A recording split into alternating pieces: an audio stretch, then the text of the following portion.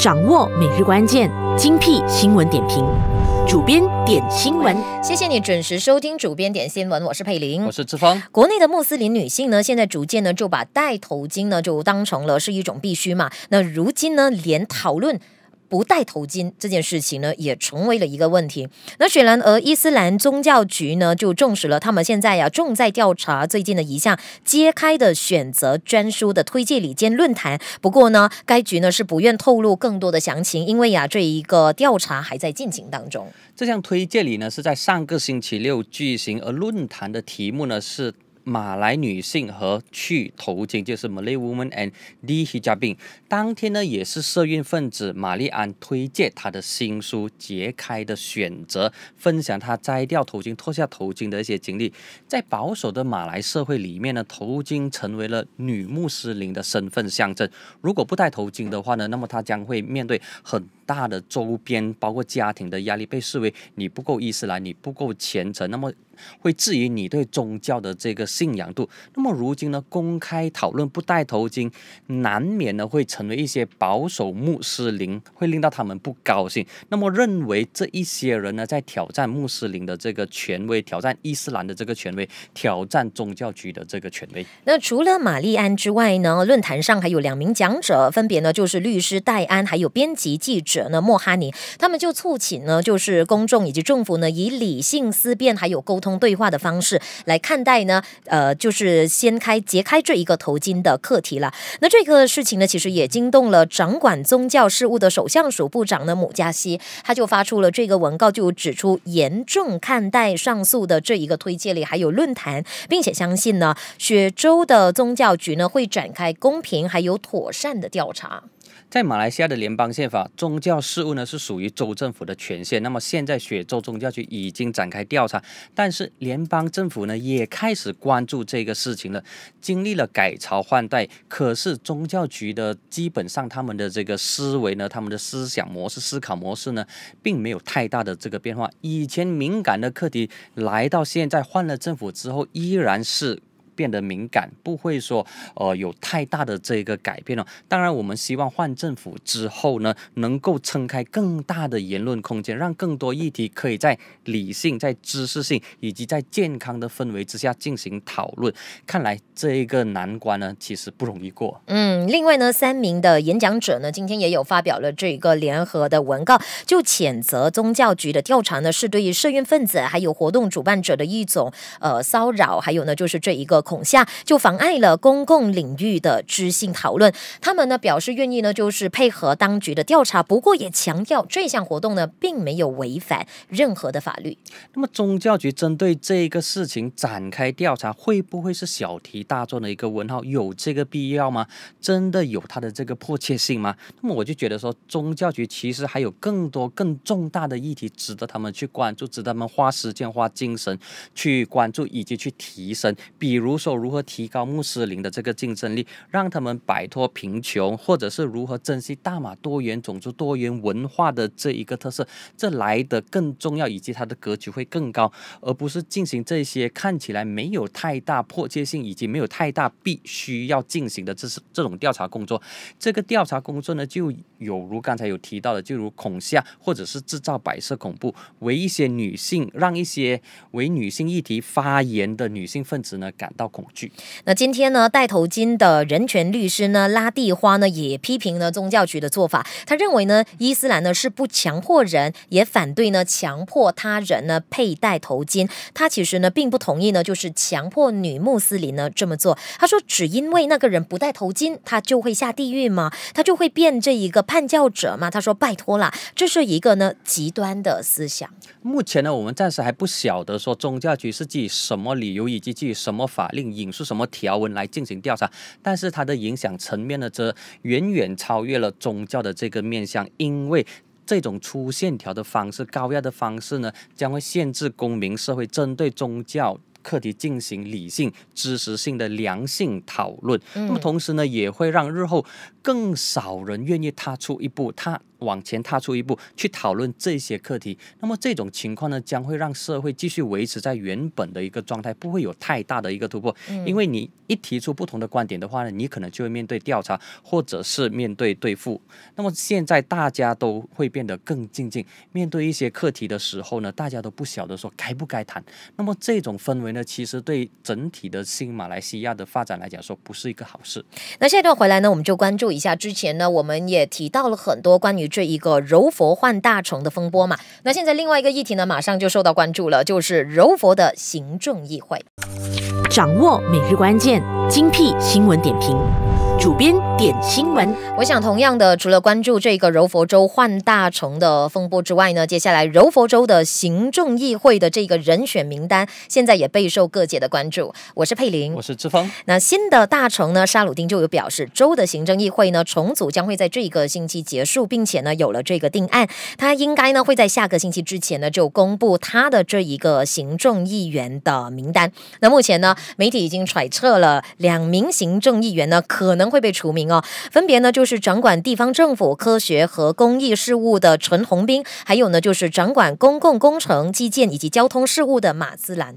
马兹兰呢是柔佛土团党的财政，而陈宏斌呢则是柔佛行动党的州秘书。那么消息人士就说，这两人可能出局背后的原因呢是可能跟柔佛王室的关系欠佳有关。哎呦，怎么又是跟柔王室有关呢？那么陈宏斌在一些课题上呢，根据媒体。的报道，在一些课题上呢，与王室的立场不同，发表一些王室啊意见不同的言论。那么西蒙执政之前呢，陈龙斌在州议会的时候，他曾经提到说，要求州议会的这个会议能够现场直播，但是苏丹呢，则不同意这个看法，所以两者之间呢，有出现了矛盾。那么现在西蒙执政之后呢，陈龙斌他掌管的其中一个事务呢，就是地方政府，但是偏偏在这个时候呢，两名县议员先后发表。冒犯苏丹的这个言论，陈龙斌，你身为这个掌管这个事务的行政员，那么他就必须代为澄清，同时也向苏丹道歉。那我们来想一下哦，如果呢这个马兹兰还有陈宏斌呢，就是被割爱的话，再加上前大臣奥斯曼呢所腾出的一个空缺，那新的这一个柔佛州的行政议会呢，就会有三名的新人，当然也包括了大臣了。那根据了解呢，土团党还有行动党呢已经有了这一个人选，那其中呢就是这个火箭的士都郎州议员。那曾家恩可能会成为行政议员，那么其他人会不会被割爱，我就不晓得。不过陈宏斌的可能性呢是凶多吉少的。我有发短信问他，哇塞，问他说：“哎，怎么办呢？”他只是简单的、很标准的回答，就是所有的政治人都会这样回答说：“一定要由党决定。”目前啊，不愿置评哦。嗯，如果有留意他之前在社交媒体所发表的这些。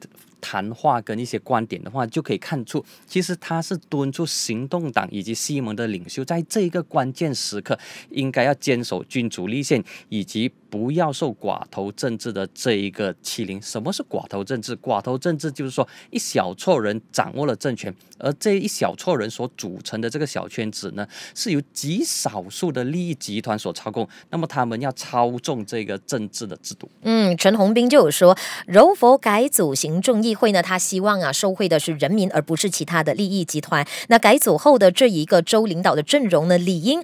要比之前的更优秀、更有魄力，而且呢是更能够呢坚持不懈的推进西蒙的这一个改革的议程，造福柔州的子民。他就寄望呢行动党还有西蒙的这一些领导，能够在这一个国家转型的关键时刻，能够坚守呢君主立宪的精神，深化民主的改革。他的声明呢有两个重点，第一呢就是君主立宪，第二呢就是寡头政治。我们先谈谈君主立宪哦。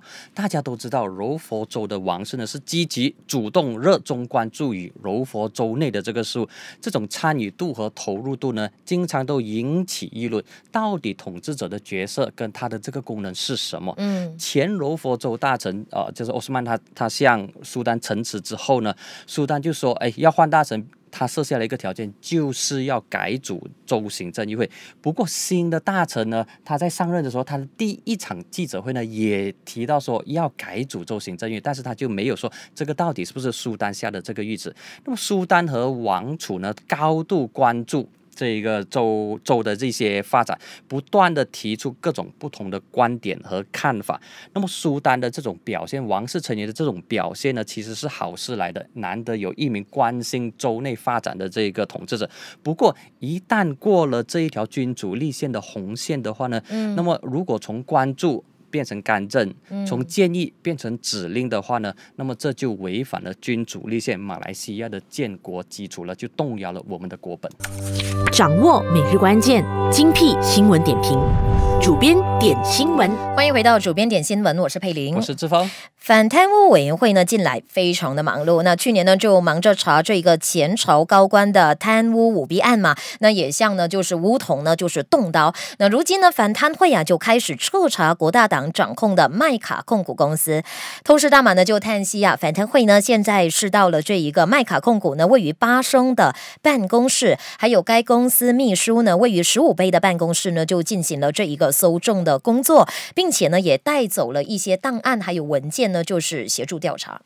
麦卡控股呢是国大党的投资臂膀，它可以说是 MIC Link Company。对许多贫困的印裔来说，麦卡控股就等于了国大党。它成立的目的就是用来帮助以及提升印裔社群的生活水平，维护他们的这个本身的这个权益。它可以说是一种呃维护民族经济的一个工具。它就类似呃政府成立这一个国民信托基金来协助土著，它的。用途它的做法是差不多都是一样的，不过麦卡呢已经成为了印裔社会的一个伤痛，也成为国大党的一个丑闻，因为麦卡控股不断的亏钱，那么每当到补选或者到大选的时候呢，都会成为政敌用来攻击国大党的一个课题。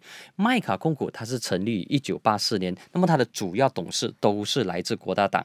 麦卡它成立初期呢，其实它是集资了很多钱，当时呢集资了差不多有超过一亿令吉，嗯，而它当中呢下面有整七万个小股东，麦卡呢它投资在金融啊、保险。研究以及其他领域，包括媒体领域，他们都有投资。嗯嗯，那消息人士就有指出呢，反贪会呢将会展开更多的一些搜证的行动，并且呢也准备呢就是传召一些人问话。反贪会呢是因为在三月的时候呢就接获了这一个吹销者的投诉，就指这一个麦卡控股呢就涉及了贪污，还有呢就是滥权，并且呢在昨日的时候呢就展开了搜证的行动。那根据这个透视大马目击的文件就有显示，呃，该公司啊就被指呢在二。零零零年呢到二零零七年之间呢，就涉及了可疑的交易。那么麦卡最大中令人质疑以及令到这个印尼社会不满的交易呢，就是发生在一九九二年狸猫换太子的事件。当时呢，财政部就拨了一一千万的这个马电讯的股给麦卡控股，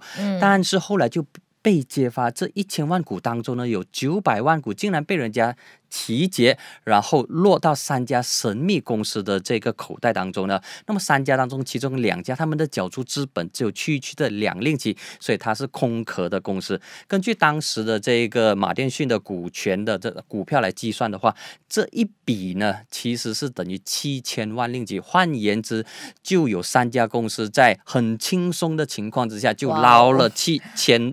万令吉，所以这一个课题呢，是印尼社会感到极度不满的一个课题。嗯，那根据呢《沙拉月报告》二月的时候就有一个报道，那麦卡控股呢就支付了数百万令吉的现金，还有其他的这一个支付的方式呢，就付款呢，呃，给予这一个公司的前总执行长呢维尔巴里呢有关的公司，所以呢反贪会就展开了这一个调查。那根据麦卡控股呢清盘的最新文件就有显示，维尔巴里呢是亏空了这一个公司。司的巨额的资金，就导致了这一家公司倒闭。那这一家公司呢，大部分的资金呢，其实都被转移到跟国大党领袖相关的一些公司。维尔巴里呢，目前就是国大党的总秘书，他也是国大党强人前主席三美威鲁的儿子。不过他否认就是有犯错，他就说啊，呃，是这个麦卡控股呢转移资金给他，是因为公司欠他钱。不管他的解释是什么，现在民众知道的就是麦。卡公股呢，跟三米威鲁跟他的这个儿子威尔巴里是有关系的。那么随着这个东西被带上，呃，被被被带上反贪会，那么反贪会进行调查之后呢，那么会逐渐的揭露更多麦卡公司的投资项目所出现的一些问题，比如说呃很多的这些烂账啊。那么过去二十年甚至三十年呢？麦卡控股的这些小股东都投诉我们，他们知道说这家公司不断的亏钱，投资项目是没有没有办法让他们赚到钱。但是过去因为是国政掌权，而国大党呢是国政的执政党成员之一，那么当时呢，愿意。